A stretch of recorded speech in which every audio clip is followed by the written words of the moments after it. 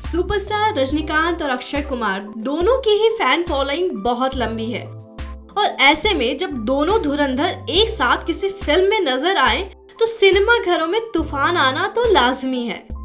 Film 2.0 ने release के पहले ही दिन रिकॉर्ड तोड़ कमाई की है और इस साल 50 करोड़ कमाकर बिगेस्ट ओपनर बनी फ़िल्म ठग्स ऑफ़ हिंदुस्तान को मीलों पीछे छोड़ दिया है। आप जानकर हैरान रह जाएँगे कि फ़िल्म 2.0 जल्द ही बाहुबली से भी आगे निकल जाएगी।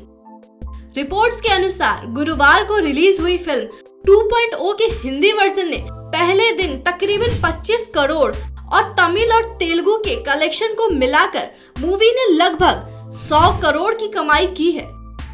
वहीं बात करें वीकेंड पर रिलीज़ हुई फ़िल्म बाहुबली 2 की तो उसने पहले दिन 121 करोड़ की कमाई की थी। पहले दिन के आंकड़े ज़रूर बाहुबली 2 को फेवर करते हो, लेकिन फ़िल्म 2.0 का वीकेंड अभी बाकी है। ट्रेंड एनालिसिस के अनुसार वीकेंड पर मूवी 2.0 की कमाई में और इजाफा हो सकता है।